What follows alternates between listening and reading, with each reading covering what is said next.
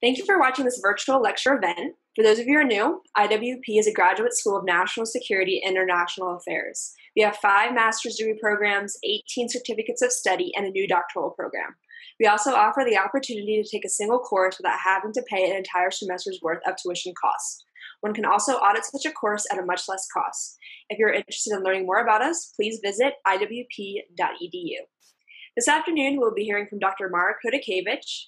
Dr. Chodakiewicz holds the Kosciuszko Chair in Polish Studies at the Institute of World Politics and leads IWP's Center for Intermarium Studies. At IWP, he also serves as a professor of history and teaches courses on geography and strategy, contemporary politics and diplomacy, Russian politics and foreign policy, and mass murder prevention in failed and failing states. He is the author of Intermarium, The Land Between the Black and Baltic Seas, and numerous other books and articles. He holds a PhD from Columbia University and has previously taught at the University of Virginia and Loyola Marymount University. Dr. Chodakiewicz, welcome. The floor is yours. Thank you very much. It's business as usual at the Institute of World Politics. Uh, today we'll continue with our story of the Intermarium. Last time we met, I was very upset because of the armistice. Essentially, the Allied agreed for Germany to walk away scot free. Within three months or so of the armistice, a legend spread, a myth spread in Germany and then elsewhere that essentially Germany was victorious in World War One. Its troops were next to Moscow and close to Paris. So, what was the reason for their failure ultimately? Well, the myth that emerged was one of the stab in the back. You see, the Germans won, but someone stabbed them in the back from within? And the answer was it was the Jews and Freemasons.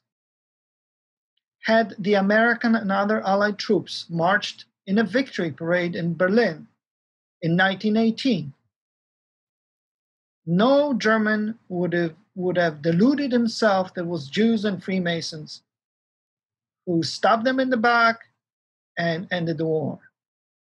Germany lost the war because it collapsed. Unfortunately, liberals such as David Lloyd George let them off the hook. And Germany was this close from essentially dominating the world and winning. Yet it lost. It, most, it mostly lost because of the United States, but not because before Germany uh, contributed mightily to Russia's implosion and great tragedy of the revolution and civil war. Today, I would like to backtrack a little bit and talk about the German and Austro Hungarian occupation of the Intermarium uh, between 1915 and 1919. We're now focusing more on our story. We're done discussing general and abstract issues such as um, uh, national self determination. So we're moving on to uh, a more detailed presentation. This one will be about the German and Austro Hungarian occupation of the Intermarium, 1915 1919. First, as usual, I have a few quotes. My initial quote is from a poet, Czesław Miłosz, a native of the Grand Duchy of Lithuania. He wrote During World War I, the Germans, who took possession of the area, tried various formulas of administration playing one nationality against another. It's about World War One. my second quote is from General Erich Ludendorff, one of the leading German officers, a warlord. This is his secret directive, Geheimverordnung, about the plans for the future in the Oberost. That would be the northeastern part of the Intermarium. He, um, he stated this on April 27, 1916.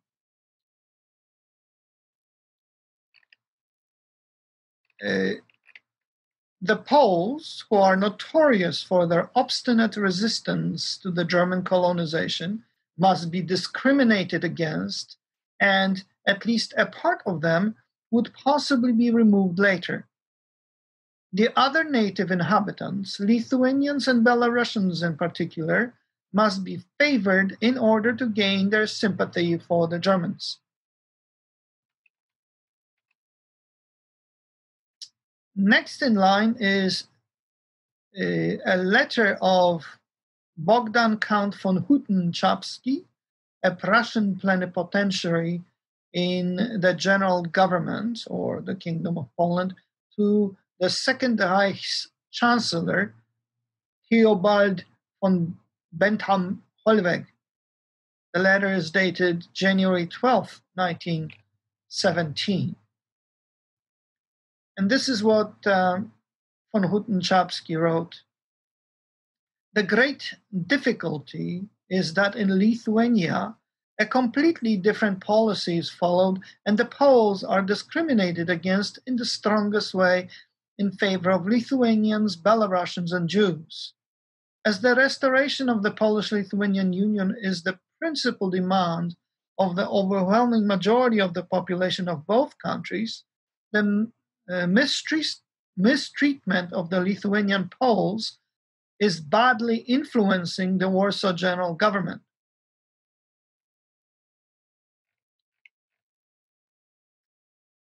A, a Lithuanian historian, Vejas Gabriel Liulevicius, in his Warland on the Eastern Front, wrote as follows The answer seem to lie in the concept and slogan of German work. Deutsche Arbeit. A characteristically German kind of work would give German lines and features to the land, putting their stamp on the place, changing it so that the occupiers would at last recognize themselves in the transformed territories. German work shaped and ordered, drew borders, rationalized, defined, oversaw, channeled energies. Thus, the army would change the place, giving German form to foreign alien content. The source of the slogan was Wilhelm Heinrich Riehl's Die Deutsche Arbeit of 1861. The real significance of Riehl's contribution lay not in its bombastic argumentation but in the formulation itself. The title alone was of greatest consequences, burrowing into pop- popular imagination. The term German work was taken up in political writing at least a decade before the war in reference to colonial activities. It truly came into its own in the war as a way of expressing hopes that this conflict was not merely destructive, but a chance for Germans to build a new world. In the East, the term was further charged in the formulation of Kulturarbeit, culture work, taken up by the administration's spokesman, coupled with the powerful complex of Kultur. In the East, notions of German work and cultural work were fused, for, for they were self evidently one and the same. Germans of the Kaiserreich define themselves, not without pathos given the imperfect result, as a state building people. The German then was someone who administered and gave order. Through German work, Germans would find it would find for themselves an identity justifying their own presence in the East. All this would be achieved by, by their quintessential institution, the army. The occupiers repeated the, the term Kultur over and over as an explanation of their presence. It rang through the administration's official and propagandistic documents, permeating the military state's self presentation. Ultimately, this meant that the means of German work justified any ends in this tabula rasa of the East. Jesse Kauffman noted that whatever concessions of the uh, whatever concessions the Germans made, they were unlikely to dispel the suspicion, mistrust, and generalized hostility to the Germans that existed in occupied Poland. On the other hand, what was perceived in Poland as half hearted duplicity was seen in Germany as the very essence of reckless Polonophilia. So long as the war lasted, it could, could not have been otherwise. So here you go, a few quotes essential to encapsulate the nature of Germany's occupation in the Intermarium from 1915. And we shall concentrate mainly here on the northern part of the Intermarium under the German occupations. What the Germans encountered was a situation which they referred to with derision as Polish economy or Polnische Wirtschaft, namely lack of proper economic organization. They were the carriers of the torch of culture to the East, called themselves Kulturträger. This was the most important role justifying all moves by the Second Reich, and in particular its Prussian style army. Only after the occupied environment would have been transformed German way, all the geopolitical schemes of Berlin could have been fulfilled. To understand a deeper sense of this enterprise, we shall now describe not only the intermarium, but also crucial component parts which um, occupied the eastern part of the German and Austro-Hungarian state.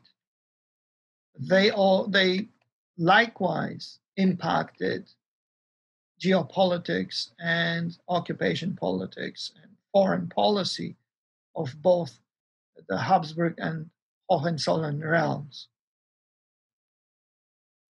This concerns mainly the Polish lands which were partitioned at the end of the 18th century.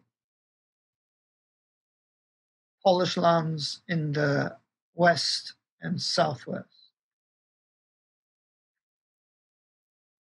We also shall sketch here general a general outline of the victorious progress of Central states from the Baltic through the Balkans up to the Alps, so that we could understand a broader context where the Kingdom of Poland and the uh, seized lands, Ziemie zabrane, or the so-called Oberost, fit under the German power.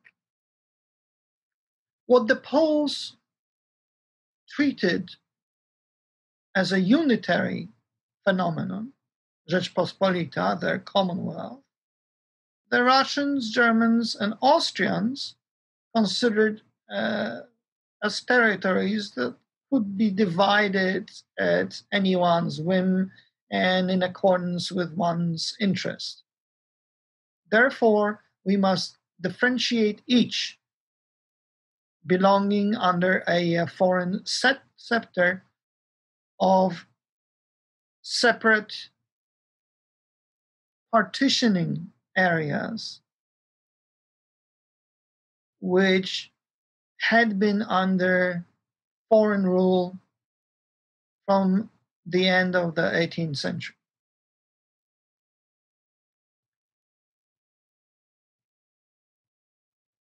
We must look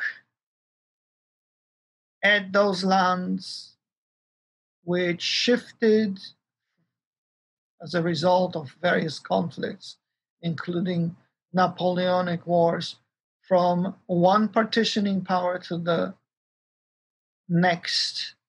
And we must remember how this system was essentially solidified by the Treaty of Vienna.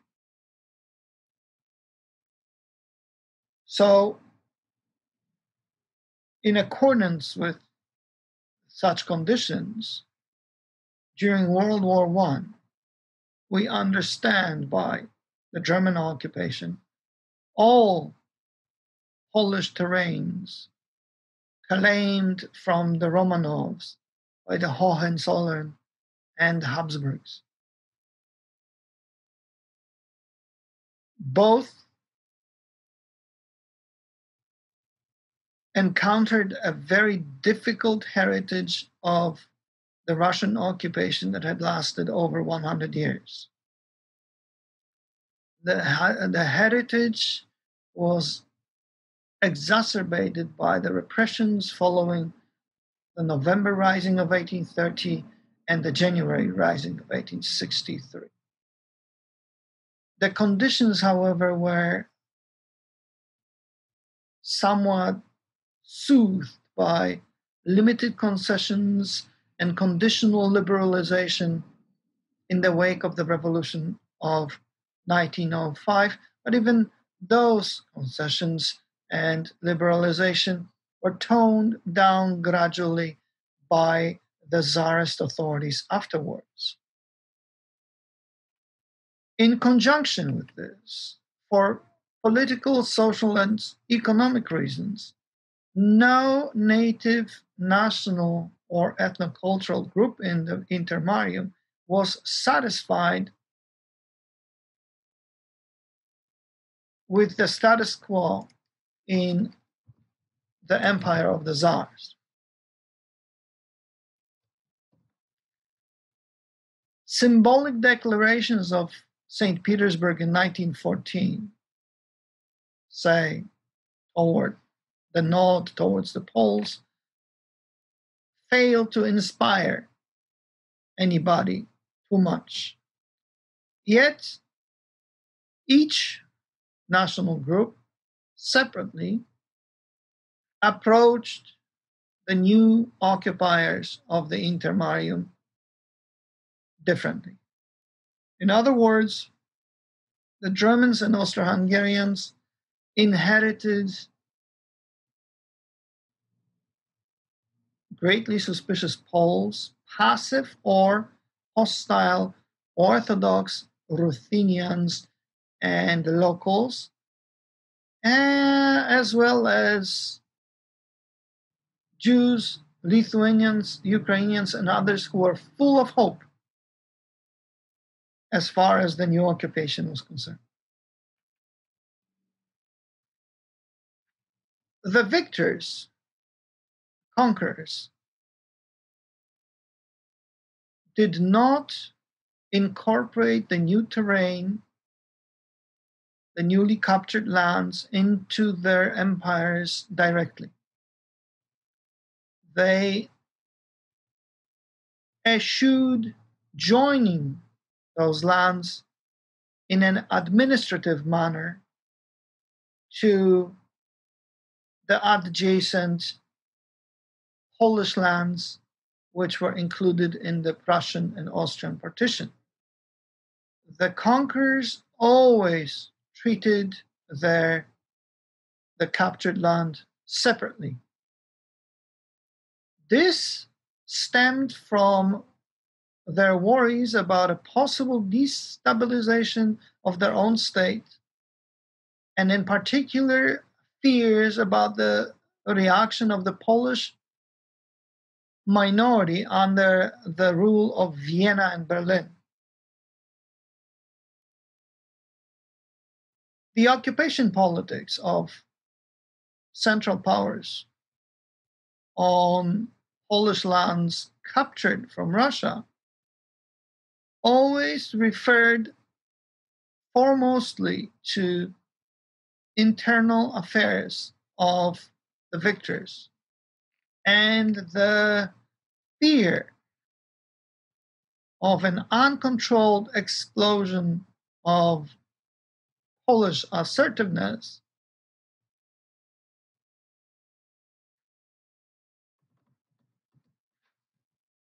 presented itself permanently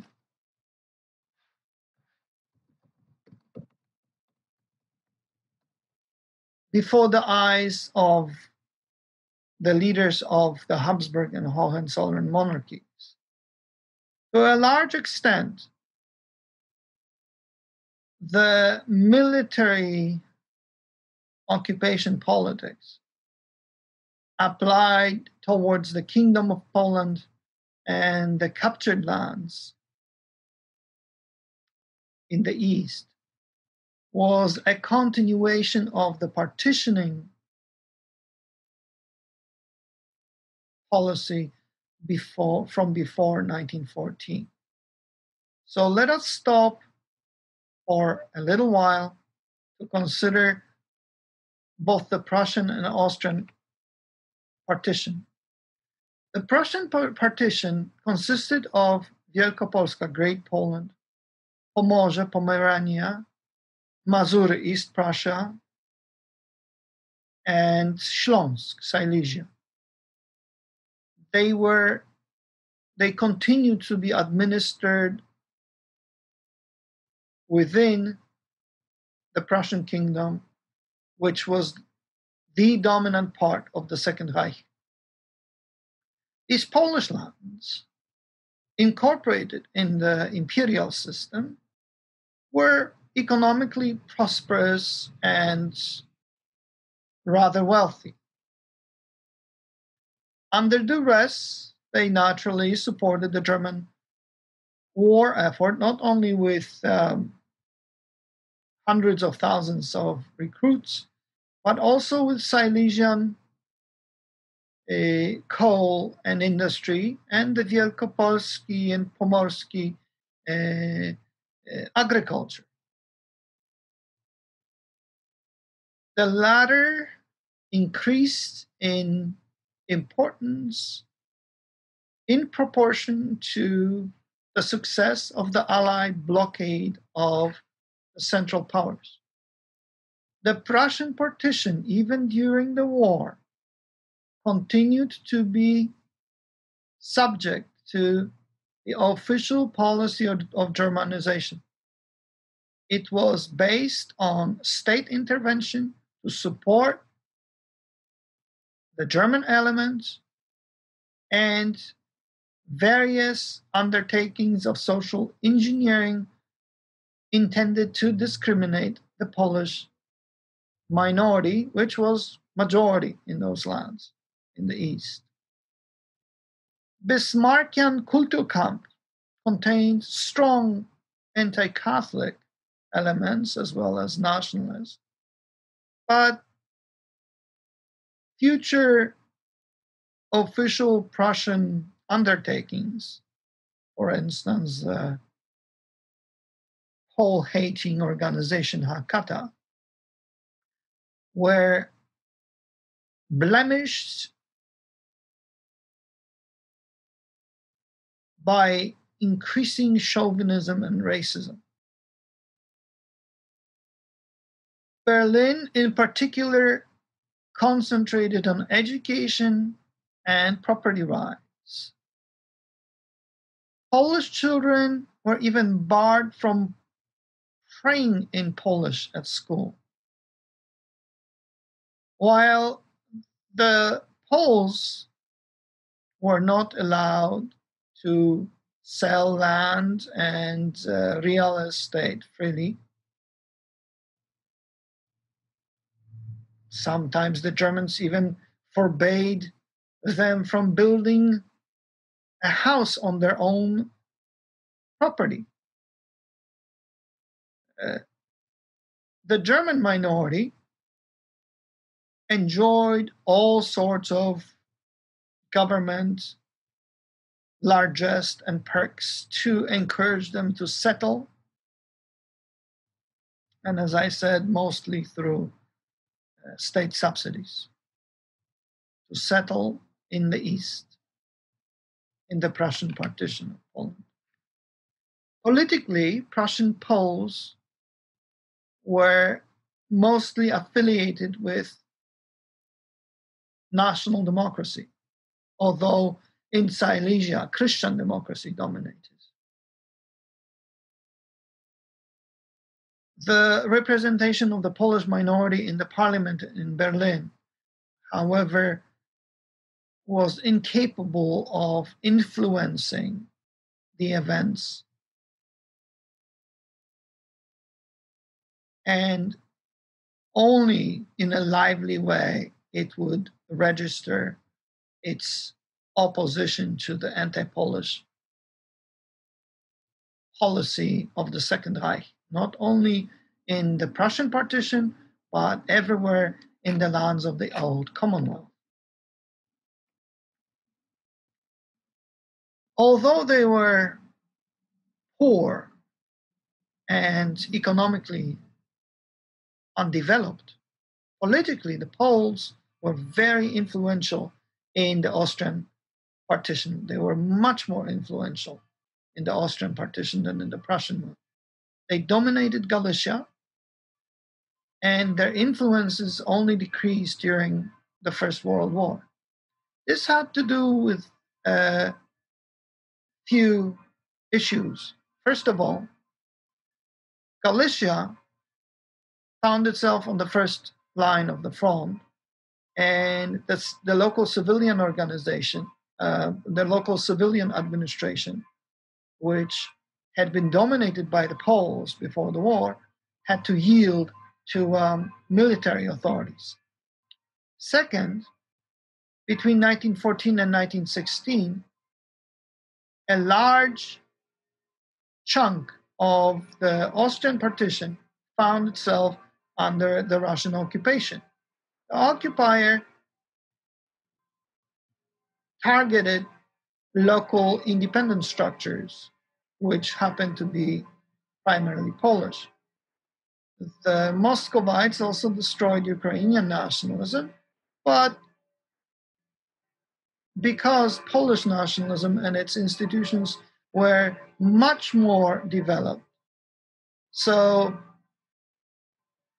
the losses of the Poles under the new policy of Russification, repression, exploitation were much greater.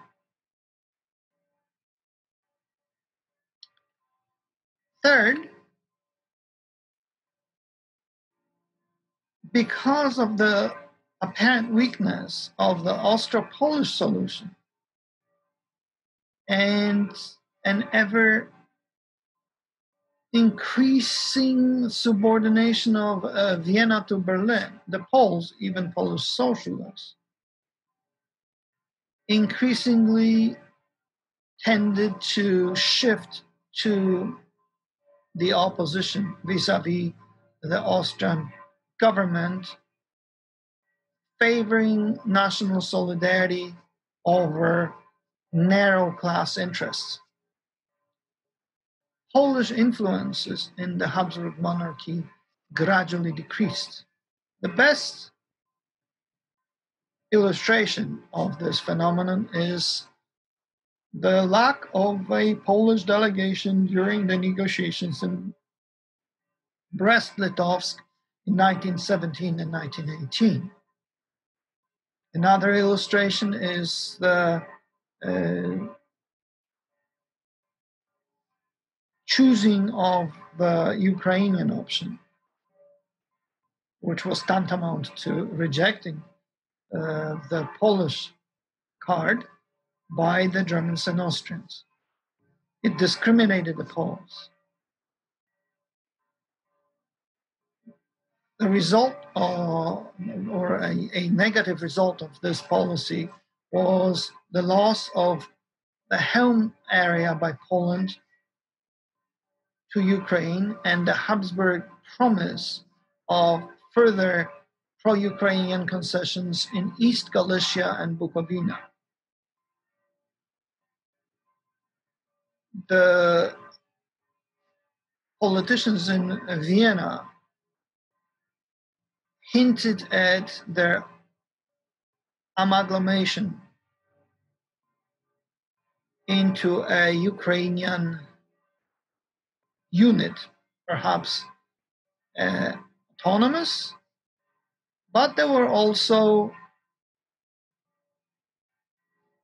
plans or at least discussions to detach those lands from the Austrian partition and incorporated them into um, the Ukrainian state.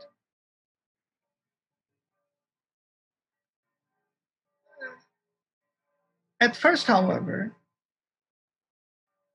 it was Habsburg Poles, but not the Hohenzollern Poles, who looked with hope towards towards a, a victory of um, Central Powers. They expected that with Vienna's support, the Commonwealth would be restored either as a, an independent state or as an equal part of uh, uh, the Habsburg monarchy. In this scheme, the Habsburg state would consist of three parts Austrian, Hungarian, and Polish, Slavic.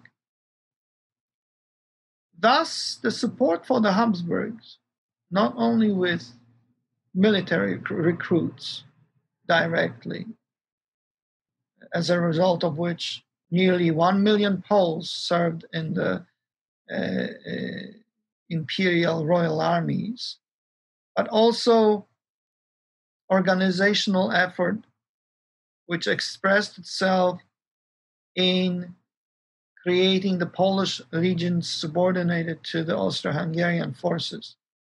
And the legions were supposed to be a harbinger of the Polish army to come.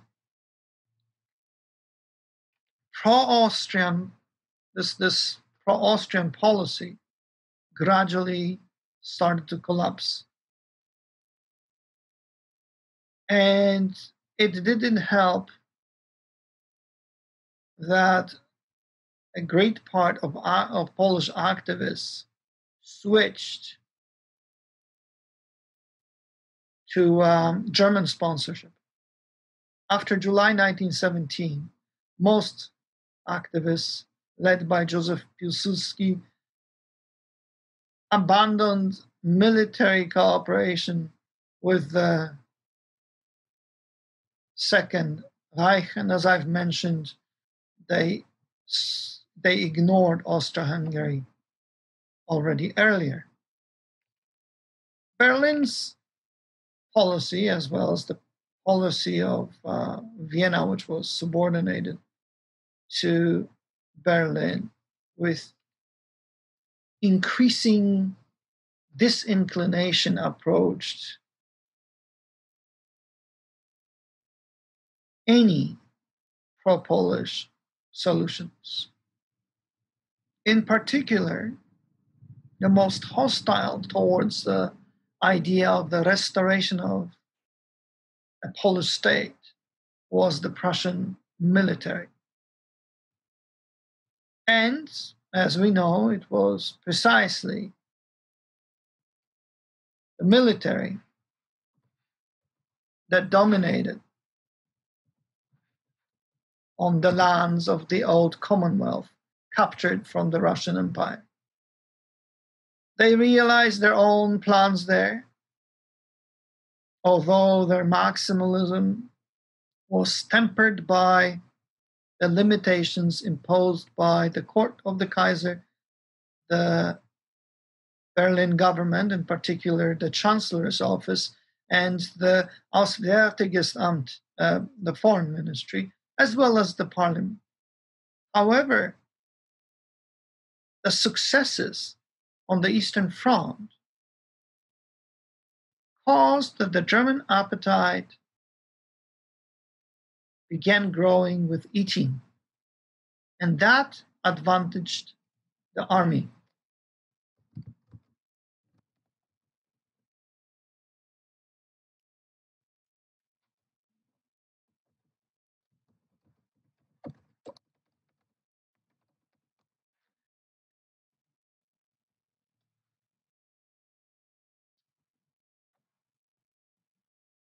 As far as um, the lands taken over from the defeated Russians in 1916, there were four principal operational zones of the Central Powers along an entire spread or about 2,000 kilometers from their function, a very narrow belt next to the fighting lines. This belt remained outside the jurisdiction of occupational, administrative, bodies and the belt was subordinated directly to front units and their general staffs. The belt ran from Courland to the Carpathians and then towards the Black Sea. Its northern portion was controlled by Berlin and the southern by Vienna. Further down south by Sofia and Istanbul. As we've mentioned, to the west of the front belt, in 1915, the Austrians and Hungarians returned to eastern uh, Galicia they defeated Serbia and Montenegro, and then in 1916 they pushed further, occupying Romanian territories together with the Bulgars and the Turks. Next, the Habsburg armies turned towards the south southwest, facing the Italian front. Meanwhile, Italy had joined the war on the side of the Allies. But Rome was not blessed with military fortune. Its contribution to the Allied effort war became very costly as far as resources and gold. For London and Paris. And it also failed to bear fruit in terms of defeating the efforts of Vienna and Berlin. Italy became an ever in, uh, an ever increasingly annoying hardship to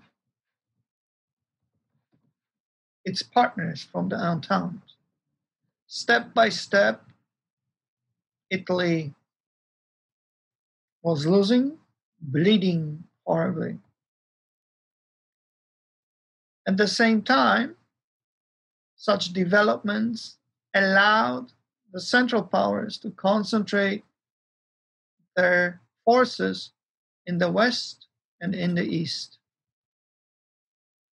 As far as uh, the Eastern Front, on the northern portion of the lands captured by captured by um, Germany from the Russians, the occupiers established two occupation zones. The first one was the Polish kingdom, and the other one was the Oberost. Full name of it was Oberbefehlshaber der gesamten deutschen Streitkräfte in, im Osten. Uh, Oberost simply means a large chunk of the Grand Duchy of Lithuania, the old Grand Duchy of Lithuania. Essentially, the whole of it, plus what is now, eventually, what is now Estonia and Latvia. In the, the official, the official viceroy of the Kingdom of Poland was General Hans von Beseler. Oberost was under the famous team of Feldmarschall Paul von Hindenburg and General Erich Ludendorff. Later, it was their hand-picked success, successors who ran the Oberost. Generally, the leadership of each of the entities, the Polish kingdom and the Oberost, hated each other and they fought against one another. The main bone of discontent was nationalities policy. In the Polish kingdom, the Poles were favored, favored. In the Oberost, the Lithuanians and the Jews. The occupiers attempted to play each nationality against others according to the classical uh, formula of divide and rule. The Germans naturally took advantage of pre existing uh, prejudices and uh, quarrels. At the same time, both occupation centers competed for blessings from Berlin.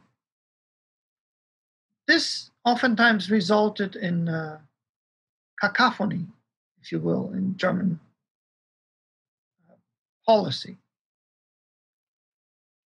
Therefore, one of the most prominent German officials in the Oberost, an old Russian Pole hater and anti Semite, Captain Wilhelm Freiherr von Gayl openly stated that between his collaborators in the Oberost and the Beseler team, there was a state of war from the beginning to the end. At any rate, the internal quarrels among the German occupiers were expedited by a fact that the Eastern Front, this portion, froze for almost two years. So the Prussians could experiment accordingly on the local people. However, at the beginning of 1917, the Kaiser troops pushed further east beyond the Minsk region and they entered uh, the Ukrainian lands from Kiev in the center to Odessa in the south, as well as Kharkov or Kharkiv in the east. Following the Peace of Brest-Litovsk in February 1918, the German occupation uh, occupation zone increased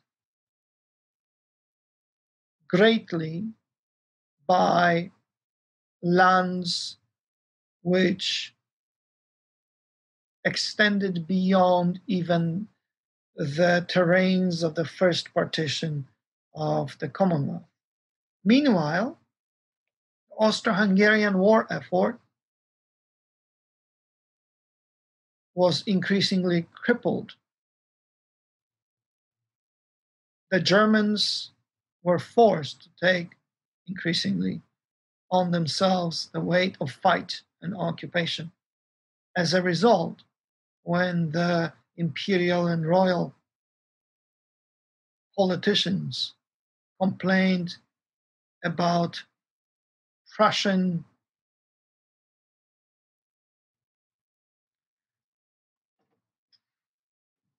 when they complained about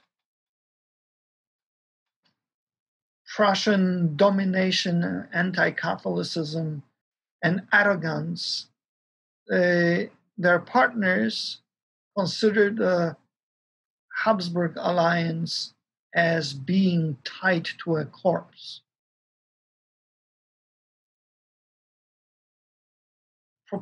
Proportionally to the German military success, their geopolitical appetites grew as well.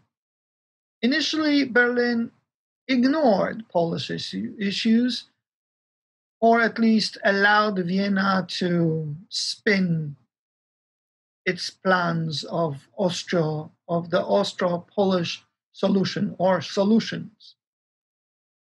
At the same time, for a longer spell, Germany's top elites believed that it was not worth it to antagonize St. Petersburg by supporting independentist plans of the Poles. An immediate aim of Germany was to sign a separate peace treaty with Russia so the so called Polish question was almost totally marginalized by the Germans. Their main concern was to draft Polish recruits and exploit Poles economically. However, in conjunctions with the German victories in the East, the powers that be in the Second Reich began to reconsider their plans in the Intermarium. As mentioned, some influential Polish, uh, German circles continued to stress their dogmatic pro Russian stance, although others considered a variety of other options from moderately hegemonic, which were contained in various variants of the concept of Mitteleuropa, all the way to ultra imperialist and hyper annexationist, which reached all the way to St. Petersburg, Crimea, the Caucasus, and even further. Already in 1915, in the captured western ter- territories belonging to the Russian Empire, a uh, peculiar condominium of the Central Power came into existence. the Austro Hungarian forces took the Lublin area. Vienna did not incorporate those lands to its Galician partition, but it administered them separately.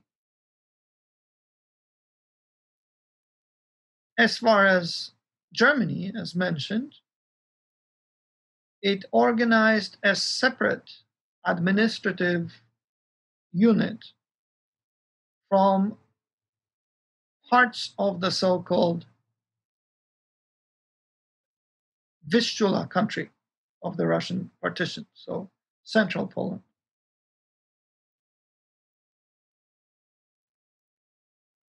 So Berlin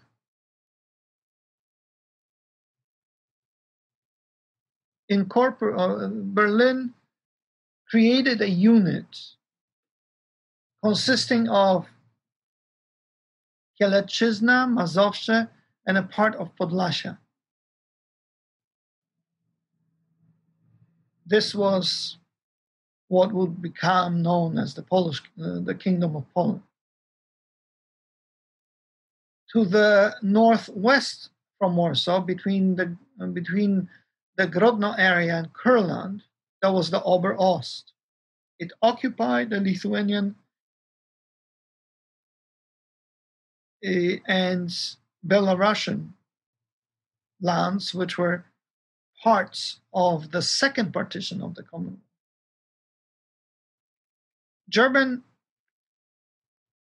authorities in the Polish kingdom played the Polish card in time, the local German authorities decided that the Poles should be prepared by them for independence, which means that a Polish state ought to be resurrected as a satellite of the Second Reich with internal autonomy. Therefore, by the act of November 5, 1916, the Germans officially announced the creation of the Polish kingdom on the western fringes of the German occupation. Naturally, uh, the Germans did not incorporate into this entity the Polish lands of the Prussian partition, so Poznania, Pomerania, uh, nor did they even consider incorporating uh, the terrains of the Austrian partition in the so called Galicia.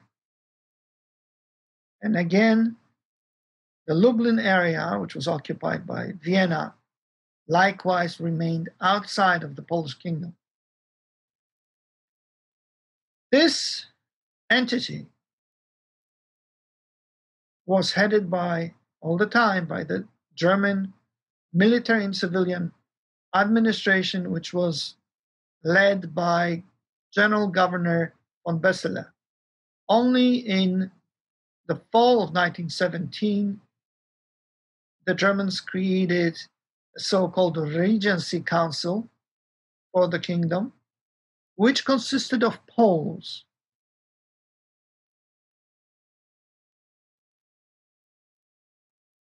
The Regency Council supervised a government cabinet which was appointed and not elected. No monarch was either elected or even appointed or considered by name. Uh, some hinted that a German prince should be put on the throne. This caused great discomfort to Austria Hungary, which already had a Habsburg candidate for Poland. However, the perspectives for the Austro Polish solution continued to fade away. The Berlin concept of a puppet Polish state realized itself in practice, but very slowly. Because the Prussians were disappointed by the lack of Polish volunteers for cannon fodder for the Kaiser, they greatly hesitated to allow the development of the structures of the Polish state. This, in turn, caused a chronic political crisis in the Polish kingdom. Generally, for a long time,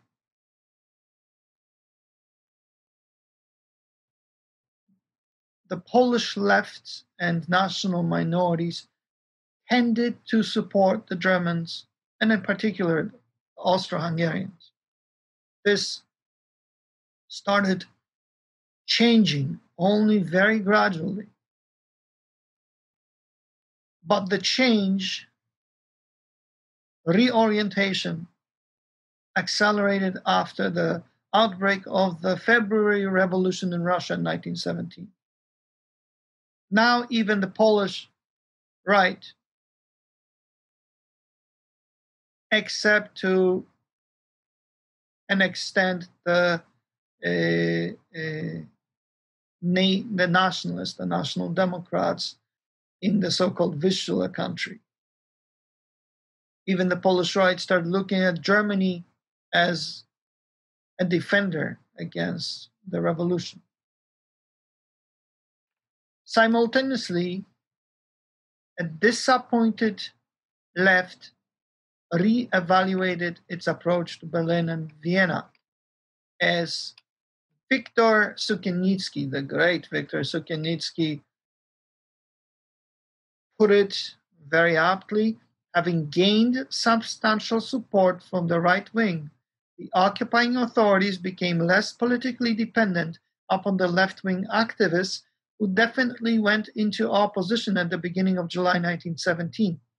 The occupying authorities could not, on, could not only suppress this opposition uh, by radical administrative measure, but could also neglect it politically and continue their labors in building a Polish kingdom on a quite different social political basis. The, the opposition supplied the, the opposition uh, concerned all leftist options, including the Vistulian internationalist left and the Polish independentist socialists, populists, and uh, various uh, progressive liberals. The cosmopolitan option supported the revolution and it hoped that it would uh, spread to the Polish kingdom and the whole of Europe. The National Socialist option and its derivatives felt increasingly frustrated with the lack of success of their policy of collaboration with the Central Powers they achieved virtually nothing despite greatly aiding Vienna and Berlin. The fiasco of this policy was contrasted with great losses and sacrifices which the Poles suffered fighting hand in hand with other soldiers of two emperors, in particular in reference to the Polish legions, which were usually associated with uh, Joseph Piłsudski. Upon hearing about the revolution in St. Petersburg, Polish independentist forces continued not to trust Russia, but they were they rejoiced because of the collapse of the Tsar, the Tsarist government. Only after the Bolshevik takeover did Polish progressives, both factions of uh, the Polish Socialist Party supported the communists and functioned within the framework sanctioned by the Bolsheviks in the Soviet Union or in Soviet Russia.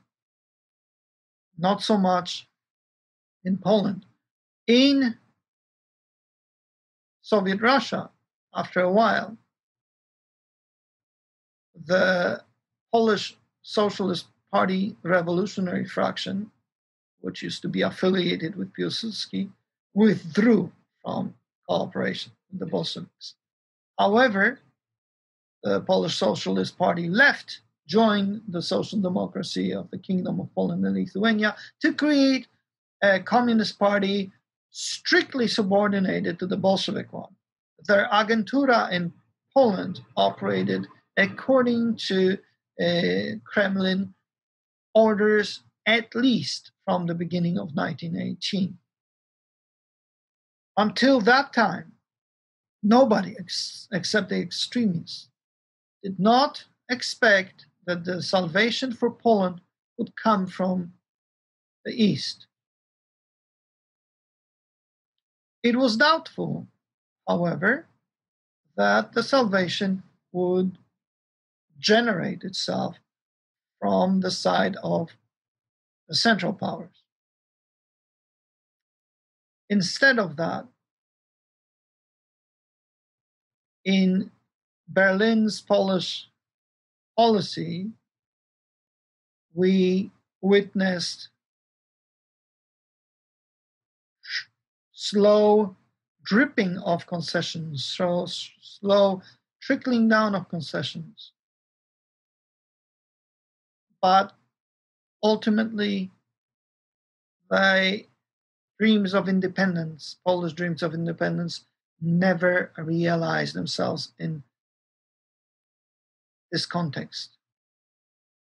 Always, however, the concessions fulfilled strategic aims of the Second Reich.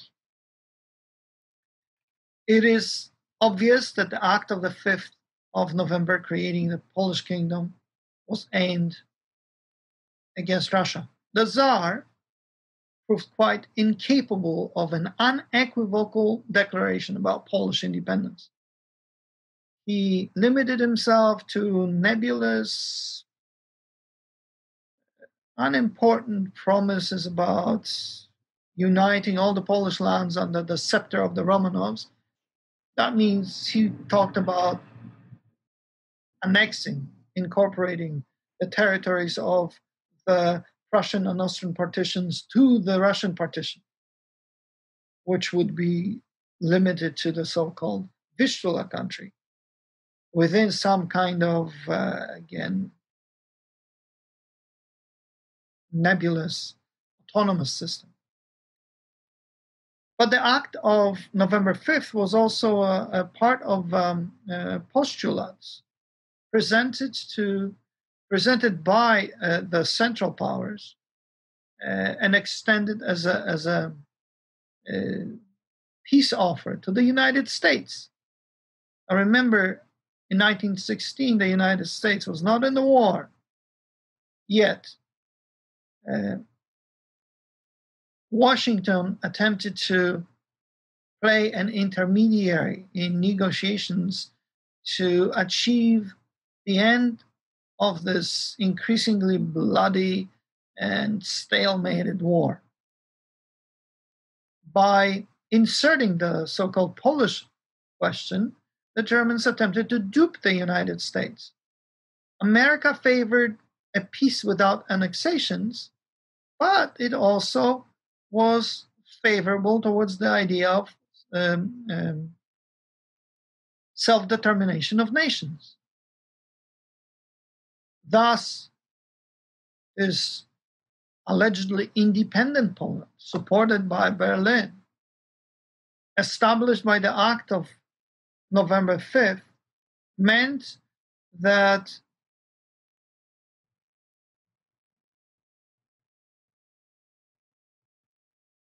the,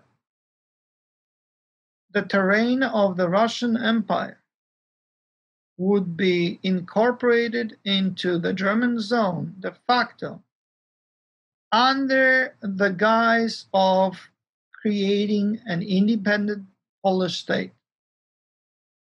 In reality, this was going to be a satellite mainly of the Second Reich because the Austro Hungarians counted less and less in the grand scheme of things.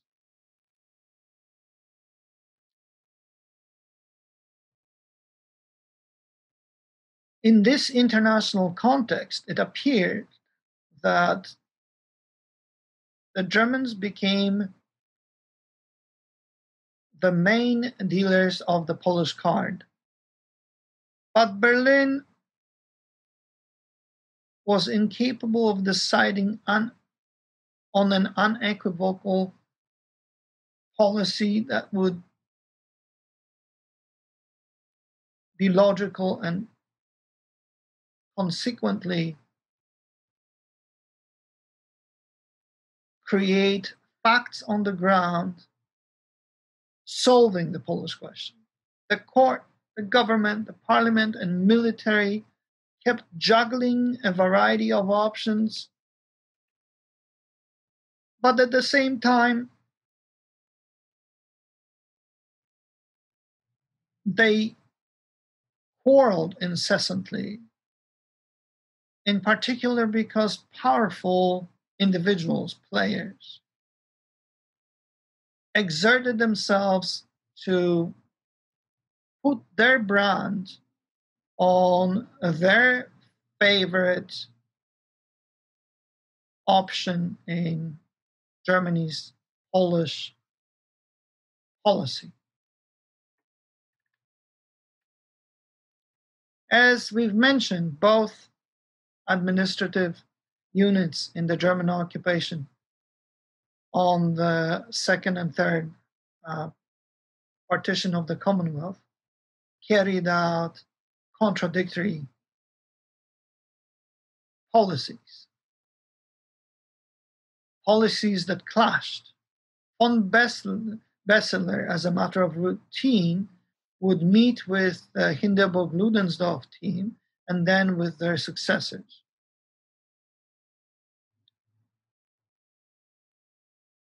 As mentioned, the German authorities in the Polish kingdom supported the Poles. In particular, on the educational and cultural field, the German policy was pro Polish. Therefore, the Germans removed many Russian decrees which paralyzed independence undertakings of the Polish civil society. For example, officially the Polish language was finally allowed, and Polish children could finally study in their mother tongue at school.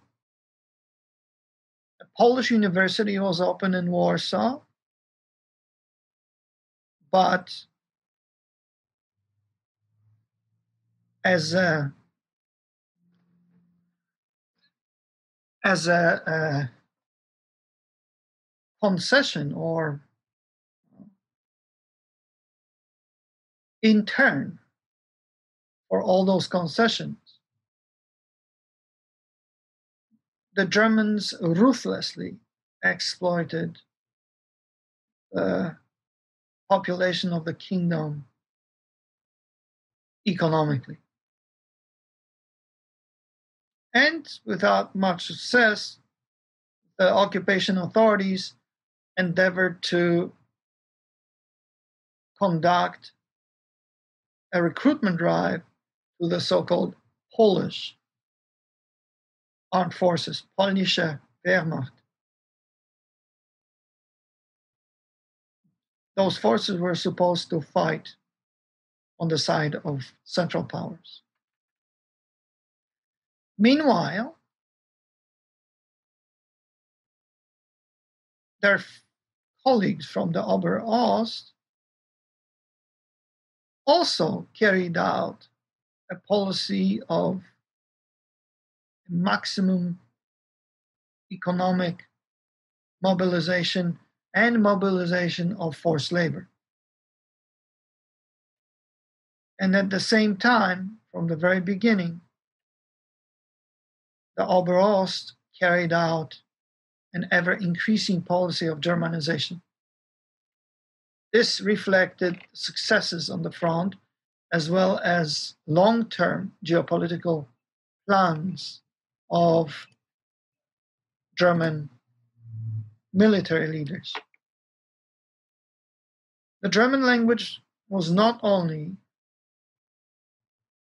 the official language of the Oberost, but from June 1st, 1918, it also functioned as the basic language of all grade schools, elementary schools, beginning with uh, first grade. And that arrangement concerned all enslaved ethnic groups. However, as far as um, um, uh, nationalities policy, the Oberost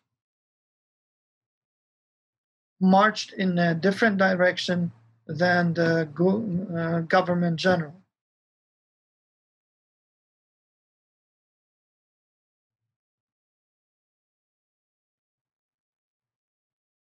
Despite the fact that the population tally of 1916, conducted by Berlin, showed that the czarist census of 1897 greatly decreased the number of Poles in the captured territories, von Hindenburg and Ludendorff rejected a possibility of any agreement with the Polish element. Instead, the Germans carried out in the borderlands the policy of suppressing the Poles to the benefit of other ethnicities, in particular the Lithuanians.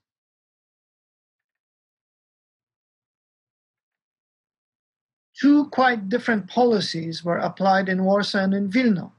While in Warsaw, a definite effort had been made to gain the sympathy of the Poles for Germany, the policy of the Oberost authorities was becoming more and more anti Polish.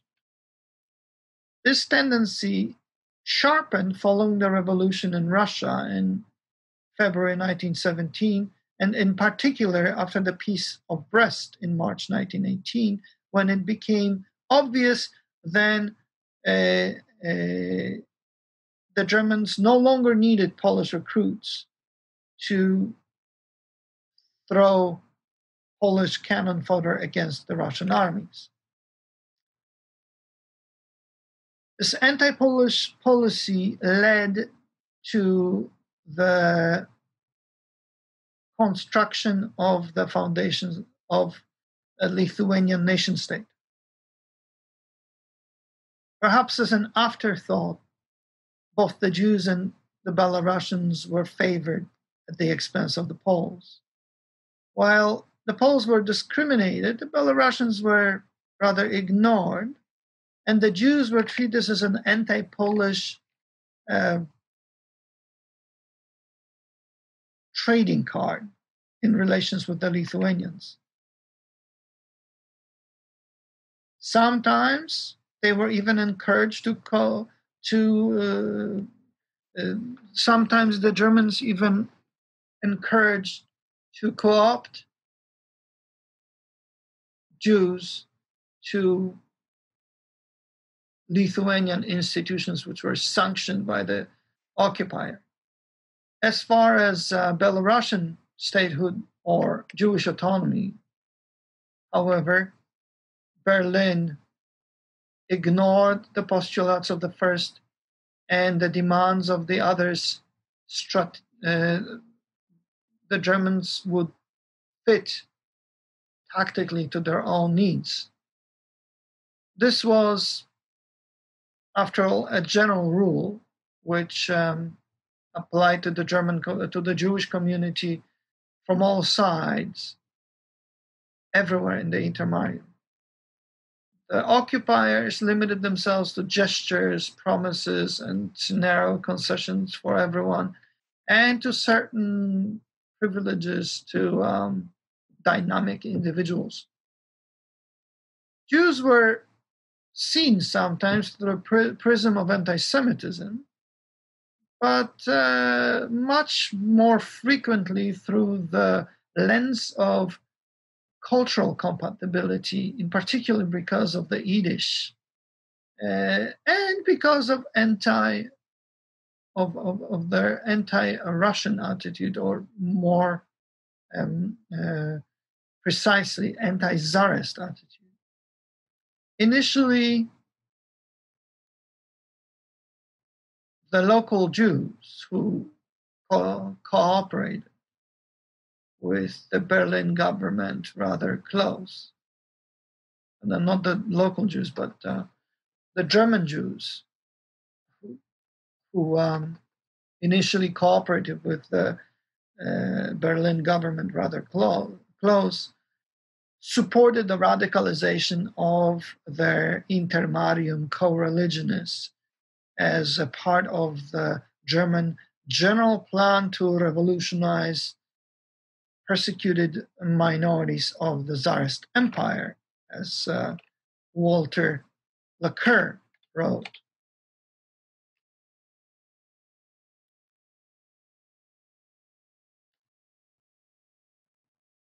Initial, uh, uh, in characteristically ext- uh, with a characteristically extremist tone, there were leaflets spread on the eve of the German attack towards the east. Here is one sample. Jews of Russia, rise, spring to arms, help hunt the Moscow, Russian, out of the West, out of Poland, Lithuania, White Russia, Volhynia, and Podolia. Freedom is coming from Europe. This is totally instrumental.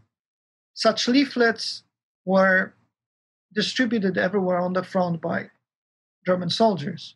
This undertaking initially was supported by German general or some German generals, Zionists. Let us add that the most active Germanophiles among the Zionists were excluded from international uh, from international Zionist ruling bodies because uh, Zionist organization essentially proclaimed neutrality in the conflict. By the way, we should stress that this plan also concerned the radicalization of Poles and Ukrainians, not only the Jews in this sense, it turned out that the Jewish community was not treated in any special way in uh, German political games. The leaders of the Jewish community understood this only gradually, and they developed restraint as far as support for the Central Powers, but only over time restraint. Initially, to encourage Jewish collaboration, the Second Reich granted Jews rather limited concessions. Among other things, in the Ober-Ost, the Russian discriminatory anti Jewish laws, legislations, decrees were removed. However, they were simultaneously replaced with general legal and economic regulations that discriminated against the Jews along uh, with the rest of the population.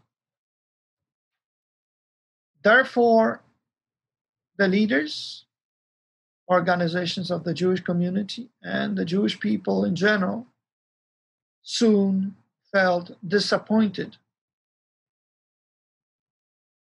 in relations to Germany. Their disinclination would increase gradually.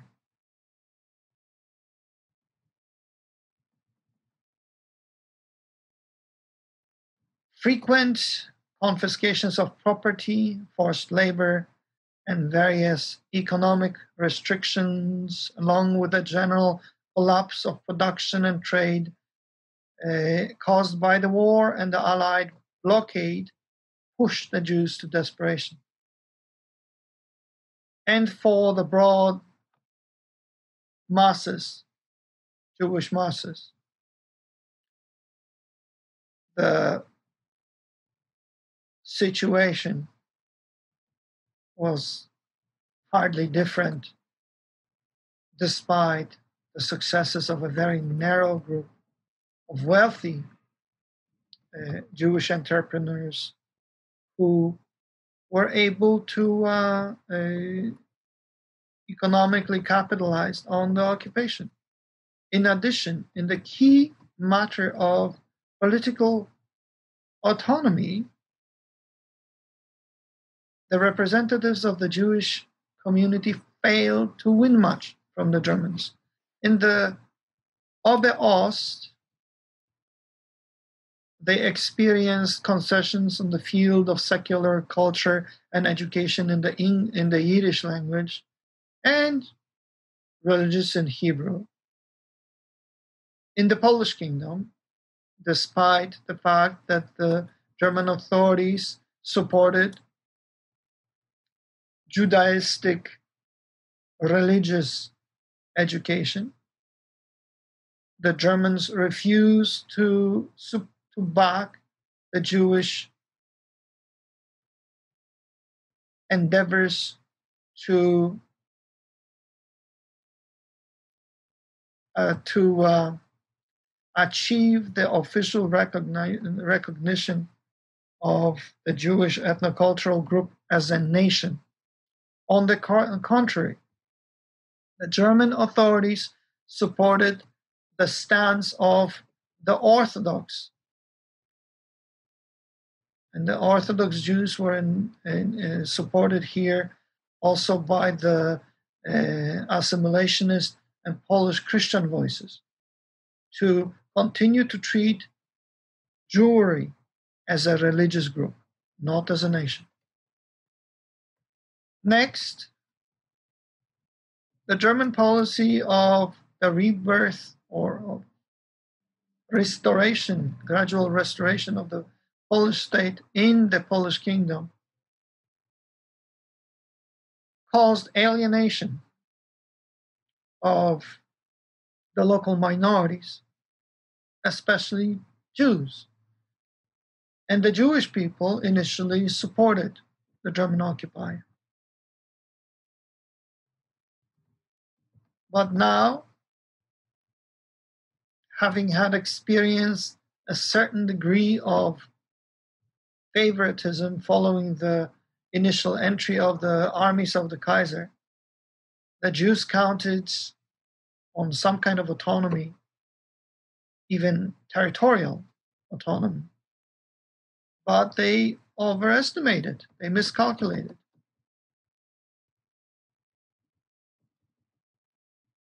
The Jews may have suffered under the Russian rule, but this didn't mean that they, except for the few remaining assimilationists, were particularly happy about exchanging Russian rulers for Polish ones, an understandable fear given the intensity of Polish anti Semitism, says Jesse Kauffman.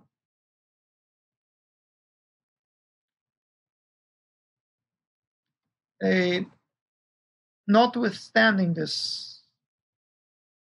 notwithstanding the fact that this appears like a classical situation of um, of an egg and a chicken, what was first, anti-Jewishness or anti-Polonism?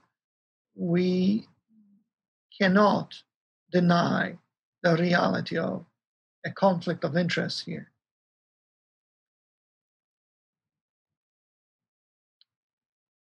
The Jews did not rejoice for being placed in a position subordinate to the Poles.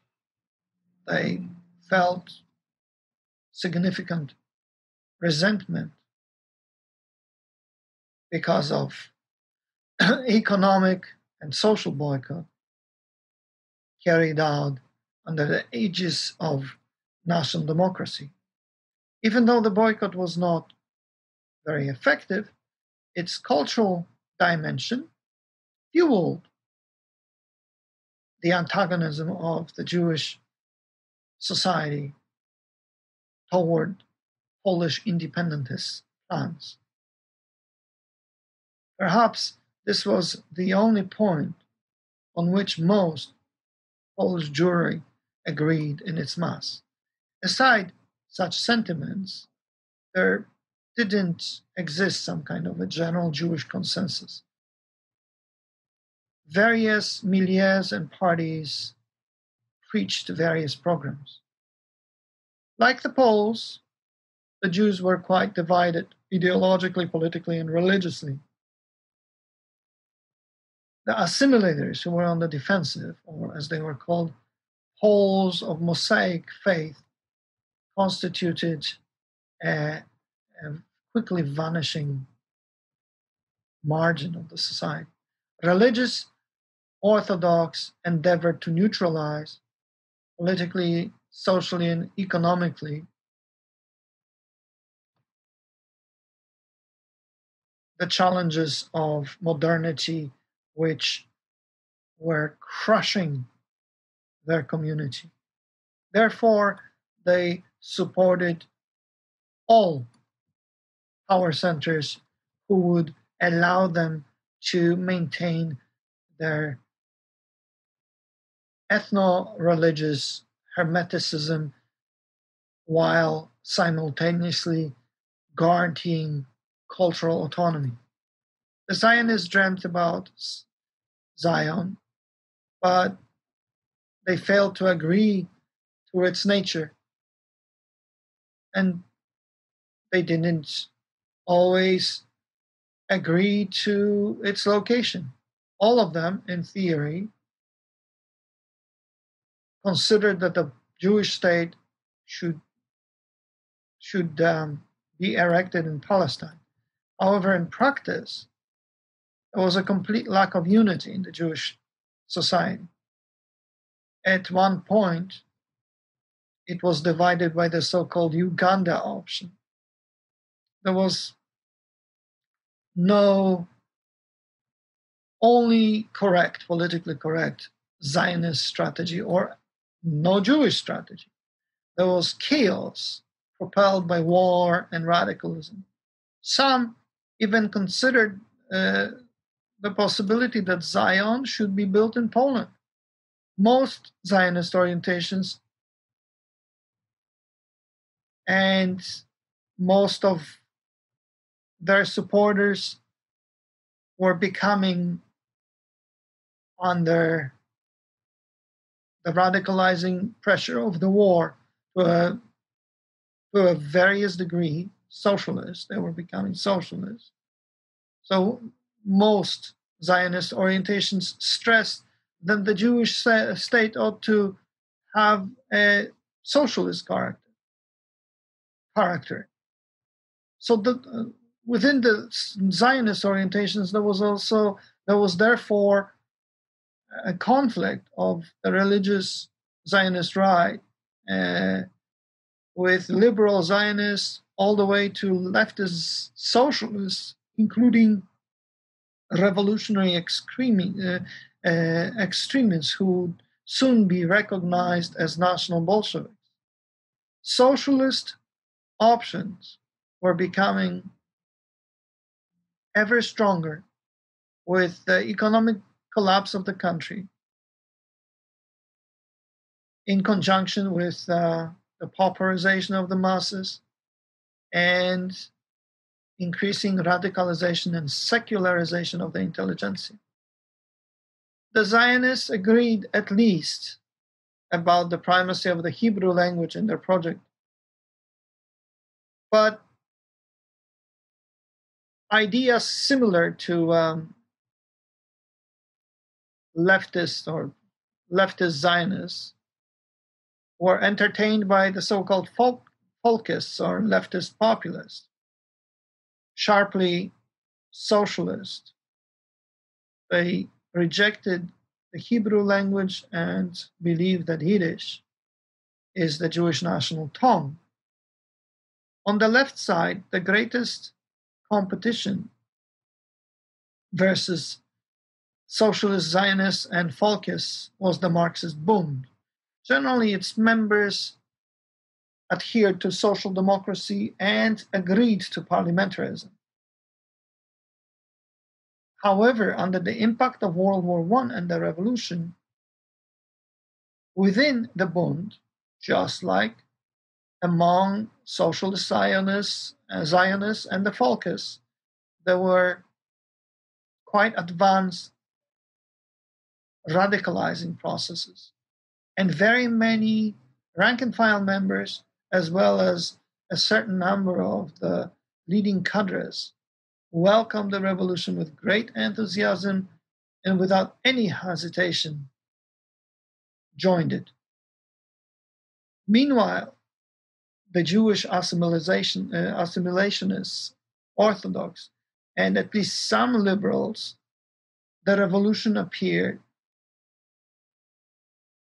as, as an unmitigated horror. And this was the same case with the Poles.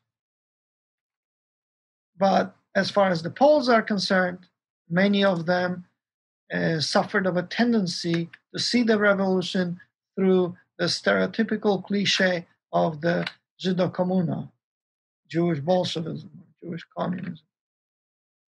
In addition, the Poles, however, were not satisfied with limited concessions, limited German concessions, and they demanded concrete deeds, not only uh, empty uh, declarations about the future independence of Poland. Both the German occupiers and their Polish uh, collaborations, collaborationists or the Poles who uh, uh, followed the German orientation line, calculated that the Polish state, state ought to emerge from the war as a monarchy. At first, they banked on, on, on the Austrian option. But in 1917, they shifted to the German option in congruence with the changes dictated by Berlin. The Germans naturally were going to create a, uh, a, a, a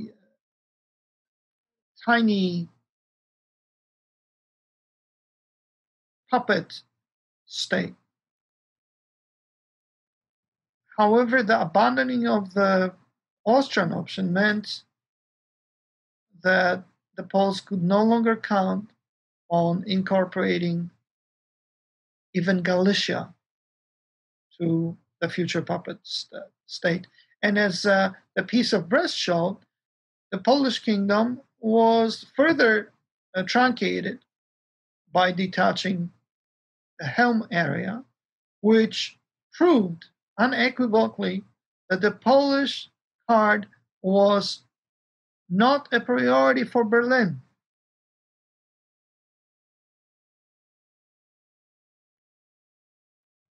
Germany simply extended the policy of, uh, of Ober Ost to favor Ukraine in exchange for its ruthless economic exploitation. It was then revealed that German military authorities stress, stressed the necessity to create a common Ukrainian Lithuanian border. This put a huge question mark over any expansion of the Polish kingdom eastwards. Further, Vienna motivated by the panic created by hunger, which propelled the internal revolution in the Habsburg state. In secret negotiations, promised the Ruthenians autonomy for eastern Galicia, as well as the cooptation of Ukrainians to the Habsburg imperial system according to the rule of parity. This, all of this was supposed to be at the expense of the Poles. The developments triggered a serious crisis in the Polish kingdom and in Galicia, although also in Silesia, Wielkopolska, and Pomerania, where Polish activists of all orientations violently objected against the Treaty of Brest-Litovsk.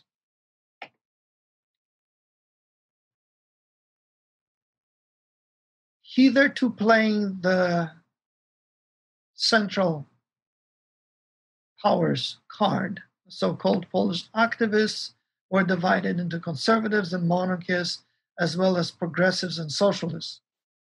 The last orientation remained faithful to Józef Piłsudski, uh, commander of one of the brigades under the Austrian um, uh, orders within, within the Polish legions. Piłsudski was, however, an unquestioned authority not only among many legionaries, but also among various emanations of the independentist left.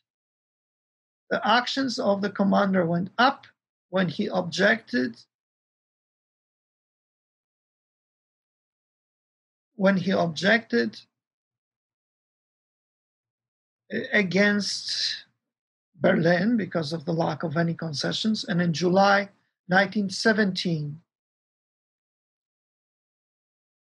he was interned and the units faithful to him were dissolved and interned behind barbed wire. His rival, National Democrat Roman Dmowski, didn't have much influence on the situation in his motherland because he was busy on the diplomatic field in the West. And his nationalist followers at home divided themselves according to, the, to their tempers. The youth rebelled, and from the Sokol movement, it joined the legions, remaining, however, in the opposition to Piłsudski. Older Endeks either continued in passivity or, at best, they attempted to join selected grassroots initiatives, self government, and community service. They, they further conditionally cooperated with the conservative and monarchical part of the coalition of the activists. Already at the beginning of 1918, uh, the reality in Poland was such that the Central Powers won World War One. They won the Great War. Very few on the ground at home